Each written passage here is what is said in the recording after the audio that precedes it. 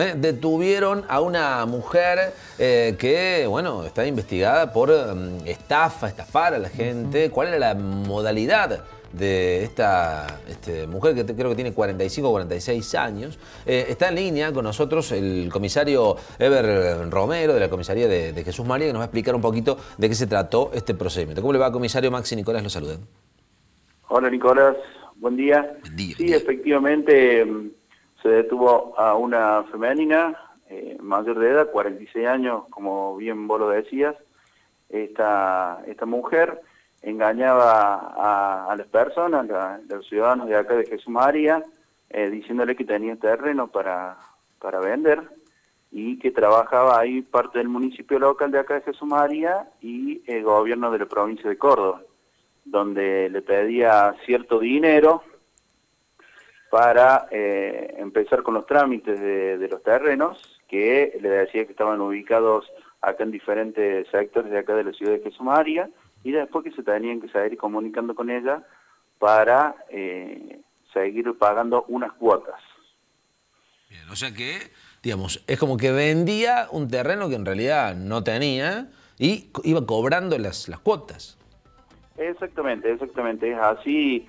Eh, se ha contado alrededor de, de, 20 personas estafadas que eh, al realizar la denuncia se, armó esta línea de investigación donde se, pudo eh, constatar que esos terrenos que ella eh, ofertaba, vendía por así decirlo, tenían obviamente propietarios, tenían su dueño esos terrenos, entonces de ahí se arma la, investigación con, con, intervención de la Fiscalía de Jesús María y bueno, debido a esa denuncia y la investigación se dio para la detención de esta, de esta mujer y el secuestro de, dinero en efectivo, tenía planos también de Jesús María, Colón y Carolla, mm. eh, pendrive, con que ella eh, hacía estos engaños y estas estafas. Qué terrible, qué terrible. Bueno, eh, eh, comisario, usted sabe que, le, cuento a usted y a la audiencia, que en el marco de toda esta investigación que hemos ido haciendo nosotros cuando nos enterábamos, se mm, conectó una persona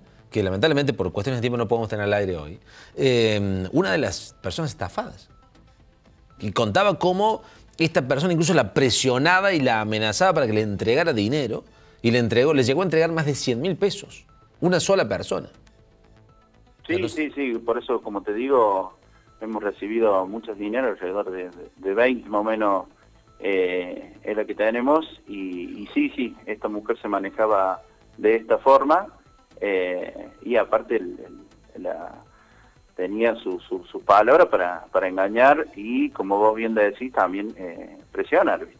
¿Y esta, esta mujer eh, estaba trabajando sola o hay en la investigación algún cómplice o algún grupo de, de que, que haya sido los que perpetran estas estafas? Y mira, a, primera instancia de la, de la investigación se dio que, que era la principal involucrada en este hecho, por eso también se determinó la detención Obviamente que la, investigación de, este hecho va a seguir, va a seguir con, la finalidad de ver si realmente ella estaba sola trabajando eh, para realizar este hecho o otra otra persona.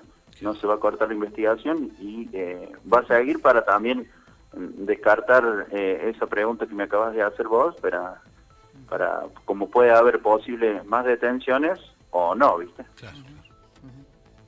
Eh, comisario, le agradecemos enormemente, lamentablemente nos quedamos sin tiempo porque la verdad que este, es un hecho eh, realmente que ha generado muchísimo revuelo por la cantidad, como usted bien lo decía, incluso tengo hasta el municipio presentó una denuncia contra ella. Sí, sí, sí, sí, la verdad que eh, es un hecho muy importante y por eso la investigación va a seguir porque bueno, los damnificados han sido varios y como bien decís, hasta el mismo municipio, eh, está incorporado también en esto que la mujer eh, aducía el gobierno de la provincia, entonces eh, se va a seguir trabajando en esto y gracias a Dios hasta ahora positivo y seguramente va a seguir siendo positivo toda la investigación.